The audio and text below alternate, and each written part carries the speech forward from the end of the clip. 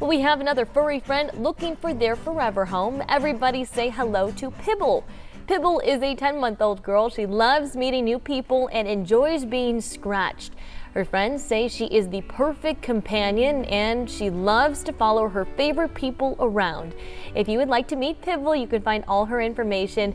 Um, she is at the HSSA main campus on Roger Road. For more information, check out our website, kvoa.com.